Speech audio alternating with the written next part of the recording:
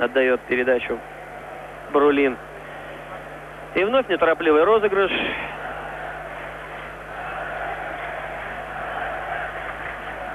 Примерно 10 минут остается до финального свистка.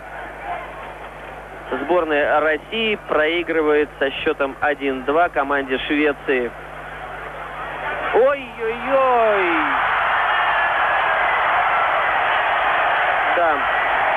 Вот этот взрыв, но, к сожалению, в чужие ворота. Кеннет Андерсон сделал ювелирный пас на Мартина Долина. И десятый номер команды Швеции забивает, мне кажется, победный гол своей команды. И хотя время еще есть, отыграть эти два мяча будет крайне сложно. Давайте посмотрим, как развивалась атака.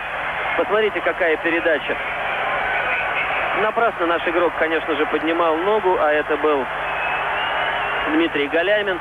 Никак этой ногой нельзя было спасти ситуацию, потому что Долин уже набрал скорость и вонзил мяч в ворота в этом пропущенном